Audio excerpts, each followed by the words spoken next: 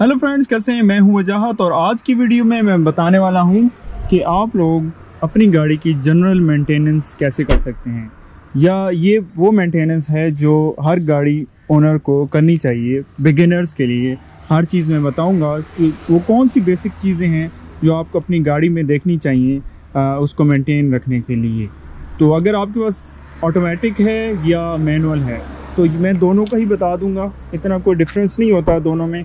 एक दो चीज़ों का डिफरेंस है वो मैं आपको बता दूँगा कि वो क्या चीज़ है तो उसको आप कैसे आ, कर सकते हैं मेंटेन तो पहली चीज़ पहले मैं बताता हूँ कि कौन सी तीन चीज़ें होती हैं। एक चीज़ होती है ऑयल आपको ऑयल रेगुलरली चेक करना चाहिए। दूसरा है वाटर लेवल जो इसके आ, होते हैं वो आपने चेक करने हैं। और तीसरा फ़िल्टर्स एयर फ़िल्टर हो गया आ, दूसरा जो है आपका कैबन फ़िल्टर जो एसी फ़िल्टर उसको बोलते हैं वो कैबन के अंदर होता है। और आखिरी चीज़ टायर्स वो भी आपने चेक करने हैं। तो ये चीज़ें जो हैं ये अगर आपने गाड़ी रखी हुई है तो आपको ये चीज़ें हर रोज़ नहीं तो दूसरे दिन या हफ़्ते में एक बार ज़रूर आप लोग चेक करें। तो सबसे पहले आपने क्या करना है कि पहले आपने बोनट खोलना है अपना।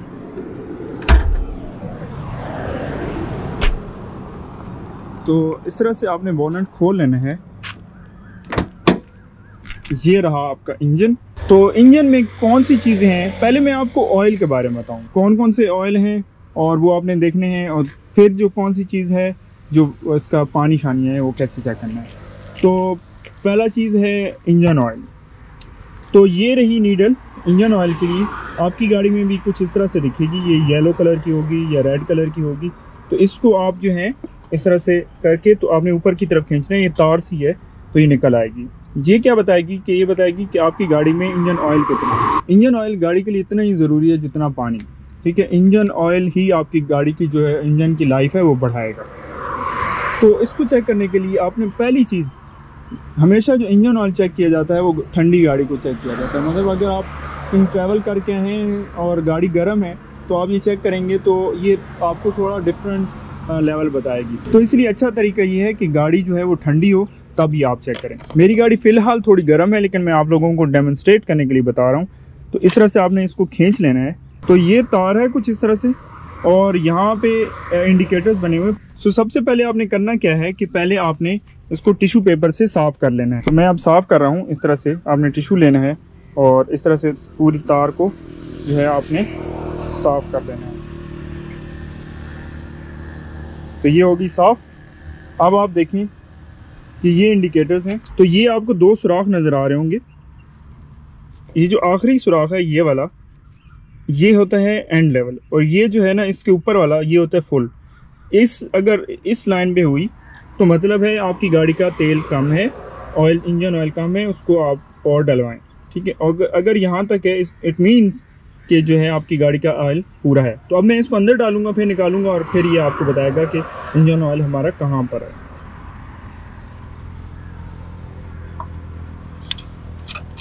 तो इस तरह से आपने दोबारा अंदर डाल देनी है और फिर आपने इसको निकाल लेना है। गौर से देखें यहाँ पे इंजन ऑयल जो है, ये इस लाइन तक आ रहा है सेकंड तक। सेकंड भी फिल हुआ हुआ है। इट मीन्स कि इसका इंजन ऑयल पूरा है तो हमें इंजन ऑयल और डालने की ज़रूरत नहीं। और ये कैसे चेक किया जाए कि इंजन ऑयल हमारा चेंज होने वाला है कि नहीं?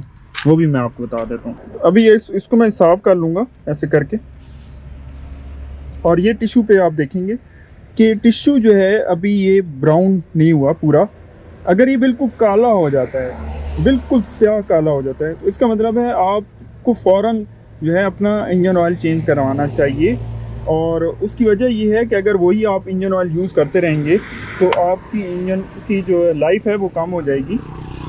अगर ज़्यादा ब्राउन नहीं है, थोड़ा ब्राउन है डार्क है, इससे भी डार्क है तो कोई इशू नहीं है, चलता रहेगा। बहुत ज़्यादा काला हो जाए ना, फिर आपको थोड़ा सा परेशानी का है कि आपको करना चाहिए। अभी इस गाड़ी के तकरीबन चार हज़ार किलोमीटर चल चुकी है। पाँच हज़ार किलोमीटर के बाद गाड़ी का इंजन ऑयल तकरीबन रिकमेंडेड होता है। कुछ कंपनीज़ रिकमेंड करती हैं तो चेंज करवा लें। तो इसका चेंज होने वाला है हज़ार के बाद स्टिल अभी भी इंजन ऑयल इसका परफेक्ट कंडीशन में है। दूसरी चीज़ ब्रेक ऑयल ये जो है, ये ब्रेक ऑयल के लिए। यहाँ पे कहाँ से चेक करेंगे कि ये पूरा है कि नहीं? क्योंकि यहाँ पे मार्किंग दी होती है। तो यहाँ पे है मिनिमम की line M I N minimum यहाँ तक और मैक्सिमम यहाँ तक। एम ए एक्स लिखा हुआ है तो यहाँ पे मैक्स यहाँ तक। तो आप इसको खोलेंगे और अपनी तरफ़ घुमाना है और ऊपर की तरफ़ उठा लेना है। ऐसे करें तो आप देख सकते हैं कि इसका जो ब्रेक ऑयल है वो पूरा है। यहाँ तक, ठीक है, इस लाइन तक होना चाहिए।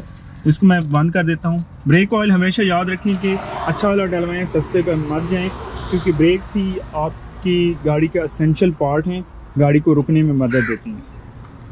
एक और चीज़ जो मैं बताऊँ कि अगर आपके पास ऑटोमेटिक गाड़ी है तो उसका यहाँ पे भी इसी तरह का लिवर होगा, यहाँ पे या इधर ही कहीं।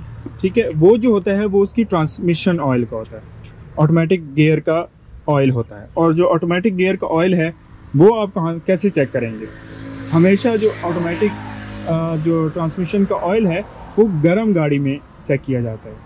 तो ये दोनों डिफरेंट हो गए। इंजन ऑयल अगर आपने चेक कर चेक करना है तो ठंडी गाड़ी में चेक होगा, और ट्रांसमिशन ऑयल चेक करना है तो गर्म गाड़ी में चेक होगा।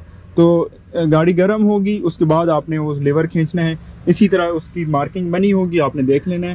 ट्रांसमिशन ऑयल काफ़ी लॉन्ग चलते हैं। एक लाख किलोमीटर तक भी चल जाते हैं। डेढ़ लाख तक भी उसके बाद जाके वो चेंज होते हैं। उतना बहुत जो है आपने रेगुलरली उसको चेक नहीं करना या चेंज करवाने का कोई इशू नहीं। ये असेंशल है। अच्छा एक और चीज़, अब जो है कूलेंट लेवल तो ये वाशर फ्लूड है। वाशर फ्लूड को भी यहाँ पे मार्किंग बनी होगी, उस तक ले जाएँ। अगर नहीं है तो कोशिश करें कि फुल हो जाए। इसमें सादा पानी डाला जाता है। ठीक है? ये जो है आपकी विंड स्क्रीन को साफ़ करने के लिए होता है। सादा पानी इसमें अच्छा रहता है, दूसरा पानी आप यूज़ ना करें रिकमेंडेड नहीं है। तीसरी चीज़ जो है, ये हो गया आपका पानी। पानी कहाँ से चेक होता है? तो यहाँ पे लिखा हुआ है कूलेंट तो इसको आप खोलेंगे।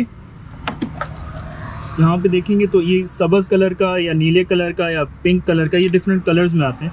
तो इसको आपने देखना है कि ये पूरा है कि नहीं। इसकी भी मार्किंग बनी होती है यहाँ पे।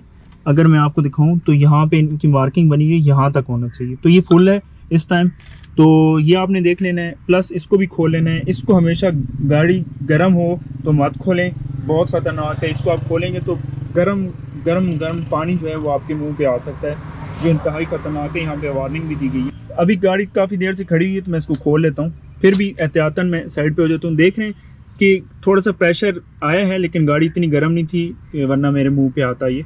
तो मैं इसको अब खोल लूँगा। कपड़ा हो आपके पास। तो हम कपड़ा ले लेते हैं और कपड़े से हम इसको खोलते हैं क्योंकि ये बहुत गर्म होता है। कपड़ा रख के तो आप इसको ऊपर की तरफ़ उठा लेंगे। तो ये आप लोग देख सकते हैं कि जो है ये फुल है।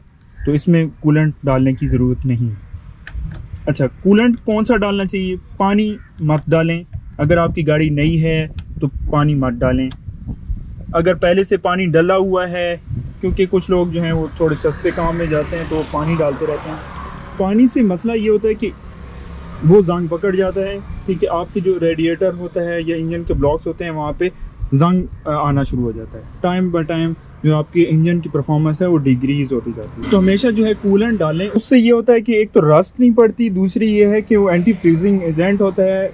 उसको जो अगर आपके यहाँ सर्दियाँ हैं तो वो उसको तो जमता नहीं है। ठीक है, उसके और भी फ़वाद हैं तो पानी से, पानी कोशिश करें ना डालें जो है आप अपना कूलेंट लें वो ही डालें। एक और चीज़ जो मैं आपको यहीं से बताता चलूँ, वो क्या चीज़ है? ये बैटरी है। बैटरी को आप चेक कर लें। इसका जो पॉजिटिव टर्मिनल है, इसको खोलें, यहाँ से प्लास्टिक उठाएँ। और यहाँ देखें, कोई रस्ट वगैरह तो नहीं। जो ऑक्सीडेशन से यहाँ पे रस्ट आ जाती है ब्लू कलर की या वाइट कलर की, जो उससे क्या होता है कि अगर वो ज़्यादा यहाँ पे पैदा हो जाए तो आप गाड़ी स्टार्ट करेंगे, गाड़ी स्टार्ट नहीं होगी तो आपको परेशानी का सामना हो सकता है। तो पहली चीज़ अगर आपने देखनी हो तो ये देख लिया करें, इसको हिला लिया करें। और उसको ख़त्म करने का तरीका ये है कि गर्म पानी डालें, या पानी सादा भी डाल दें तो चल जाएगा, लेकिन गर्म पानी डालेंगे तो जल्दी से वो ख़त्म हो जाएगा। तो इसको भी आप चेक कर लिया करें। बाहर से एक और चीज़ बताता चलूँ, टायर। टायर प्रेशर जो है, वो जो कंपनी रिकमेंड करती है, हमेशा वही डालें। बाकी आप लोगों की मर्ज़ी भी हो सकती है। पर कोशिश करें कि टायर का प्रेशर है वो पूरा हो। आ, गाड़ी चलाने से पहले आप लोग देख लिया करें। यहाँ पे अमूमन ये होता है कि गाड़ी के साइड पिलर पर यहाँ पे आ, लिखा होता है कि कितना प्रेशर डालना चाहिए टायर्स में। तो यहाँ पे 36 लिखा हुआ है ये ऑल्टो है और इसमें 36 डलता है। कई गाड़ियों में 30 डलता है पर इसमें 36 डलता है तो आपने वो चीज़ देखनी है। अच्छा एक और चीज़ जो रह गई है इस इंजन कंपार्टमेंट में वो है एसी की गैस। यहाँ से आप इसको खोलेंगे ये एसी की गैस होती है। इसको जब आप खोलेंगे तो यहाँ से एसी की गैस रिफिल होती है। अगर आपका एसी काम सही नहीं कर रहा तो एसी आप चेक करवा लें। आ, हो सकता है आपकी एसी की गैस कम हो। और इसको खोलने से यहाँ से थोड़ी सी गैस लीक भी हो जाती है। यहाँ पे गैस जमा हुई होती है। उसको खोल लिया करें गाय बगाए तो उसको जो थोड़ा सा प्रेशर आया होता है वो उसको ख़त्म हो जाता है यहाँ से। आखिरी चीज़ जो मैं बताता चलूँ वो है एयर फ़िल्टर और ए सी कैबन का फ़िल्टर एयर फ़िल्टर जैसा कि आल्टो है तो इसमें यहाँ पे है। उसको कैसे आपने देखना है? ये क्लिप होते हैं, इसी तरह का बॉक्स बना होगा, यहाँ पे होता है, यहाँ होता है। तो वहाँ पे क्लिप्स बने होते हैं।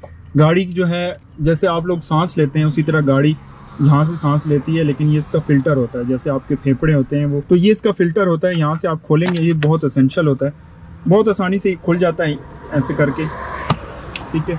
आपने इस कवर को उठा लेना है, और अपनी तरफ़ खींचना है, और दूसरी तरफ़, और ये रहा फ़िल्टर इस एयर फ़िल्टर को आप निकाल सकते हैं साफ़ कर सकते हैं तो बहुत आसानी के साथ जो है आप इसको साफ़ कर सकते हैं। और इसको आ, देख लें कि इसमें इसको आपने क्लोज़ अच्छी तरह करना है। ये ना हो कि आप जो है इसको क्लोज़ करना भूल जाएँ। अगर ये एयर टाइट नहीं होगा तो जो है प्रॉब्लम्स हो सकती हैं। तो इस तरह से क्लिक करके ये बंद हो जाता है। तो कैबिन फ़िल्टर है वो आपका जो है कैबिन में ही होता है। अमूमन जो है पैसेंजर सीट पे होता है और ये जो ग्लब कंपार्टमेंट होता है इसको खोलेंगे। आ, तो उसके अंदर करके एक बॉक्स सा लगा होता है, उसको कहते हैं एसी फ़िल्टर या कैबिन फ़िल्टर वो भी आप जो है, अगर बहुत ज़्यादा टाइम नहीं हुआ तो वो चेक कर लें। तो उससे ये होगा कि जो आपका एसी है, वो अच्छा काम करेगा, दूसरा ये है कि डस्ट वगैरह से आपको बचाव करती है तो ये चीज़ें थी, चंद चीज़ें जो मैं आपको बताना चाह रहा था। और आई होप आप लोगों को इससे हेल्प हुई होगी, ये जनरल मेंटेनेंस है बिगिनर्स के लिए। तो अगर आप लोगों का कोई भी क्वेश्चन है तो आप लोग मुझसे रबता कर सकते हैं कमेंट्स कर सकते हैं, मैं आप लोगों को बता सकता हूँ। तो मेरे वीडियो को लाइक कर दें, मेरे चैनल को सब्सक्राइब कर दें। देखने का शुक्रिया। नेक्स्ट वीडियो तक, अल्लाह हाफ़